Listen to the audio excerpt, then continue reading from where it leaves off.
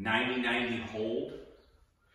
For the 90-90, the 90 degrees is with both of our legs. So we got 90 degrees here, 90 degrees here.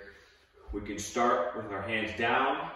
If that's easy, hands can come up and we're trying to stay tall and we're just gonna hold that position.